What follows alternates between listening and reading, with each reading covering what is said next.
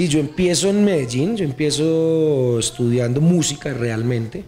Eh, mi madre es música y de pronto descubro a los cinco años, eh, hay un casting en Medellín para la inauguración del teatro más grande que tiene Medellín, que se llama el Teatro Metropolitano, y hacen un casting para elegir eh, un personaje que se llamaba Pedro, del, de, Pedro y el Lobo, una historia famosísima interpretada por la Filarmónica de Colombia y resulta que me gano ese casting. Entonces desde los cinco años yo empiezo en este mundo de la actuación y me gustó y entonces ya no salía de la universidad desde muy niño, yo me volaba del colegio para irme a las clases de la universidad eh, y de ahí me gano una beca y me voy a hacer eh, la maestría en dirección en, Cuba, en el Instituto eh, Superior de Artes de La Habana, de La Habana Cuba.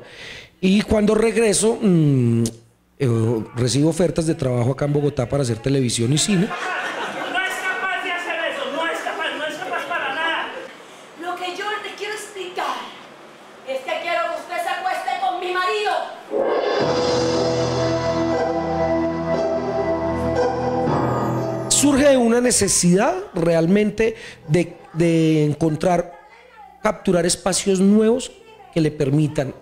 al pueblo colombiano o internacionalmente también encontrar un espacio diferente al ir a una sala de teatro.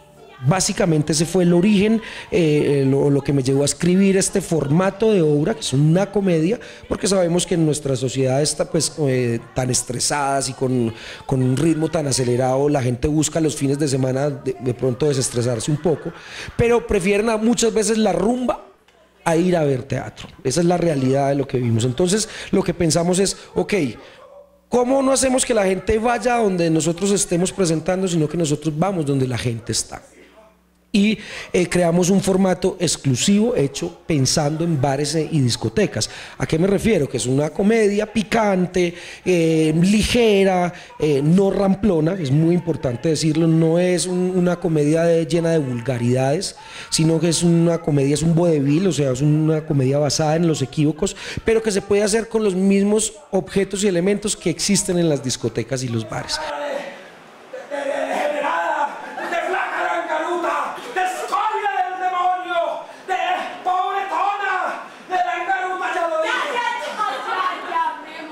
Yo la conozco a ella en un taller que ella va a hacer conmigo, eh, yo dicto talleres de actuación, entonces ella entra al taller y yo digo, ok, esta niña es mucho más de lo que uno ha visto detrás de, la pantalla del reality. Entonces ella reunía como esas condiciones mm, de no solamente de mujer hermosa y bella y de un cuerpo excelente, sino de talento también para la comedia y la actuación.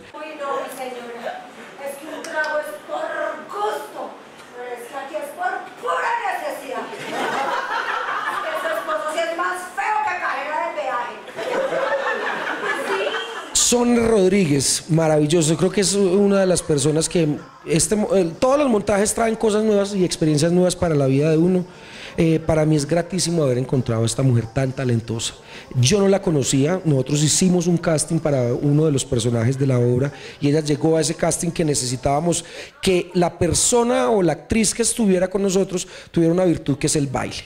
¿Sí? Porque dentro del, dentro del de la obra hay un baile erótico que tiene este personaje que interpreta a Soner, que se llama Soraya, en la obra.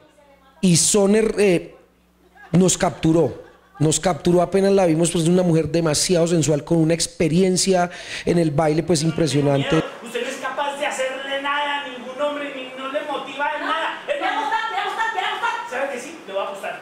Y le apuesto que usted no es capaz ni de hacerle Carlos Martínez, pues imagínate, ese es un personaje que lleva más de 15 años en la televisión colombiana, todos los fines de semana lo vemos en la pantalla.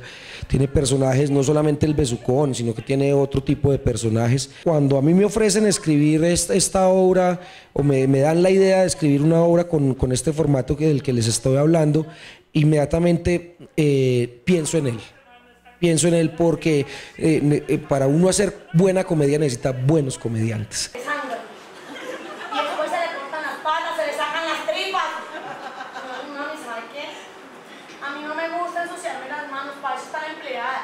Hola amigos de Vox Move.